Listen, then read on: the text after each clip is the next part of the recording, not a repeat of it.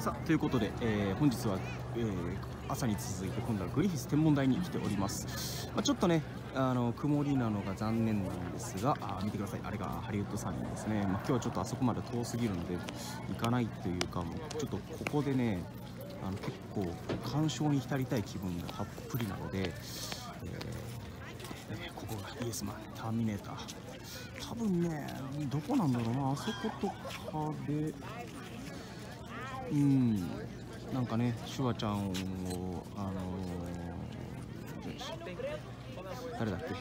あのサラコナ役をやった人。あ名前忘れてしまった。が打ってたんじゃないかなと思うんですが。はい、ね、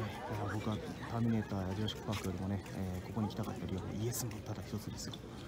イエスマン。多分この辺りでねあのハニーとかがストレッチをしててであの今トラックみたいなのがトラックっていうかなんかねよくわからないアラマークっていうのが決まってるあたりがであのジム・キャリーがあ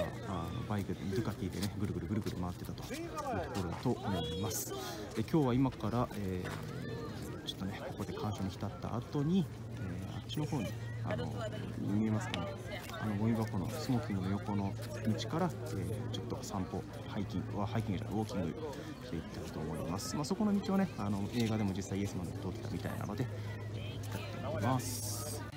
はい。ということで、本日も最後まで動画をご視聴いただきましてありがとうございました。このチャンネルが役に立ったなと思っていただいた方は、ぜひグッドボタンとですね、それからチャンネル登録もしていただけたら嬉しいです。で、今後もですね、動画配信していくんですが、動画の他にもですね、コーチング生も募集をしています。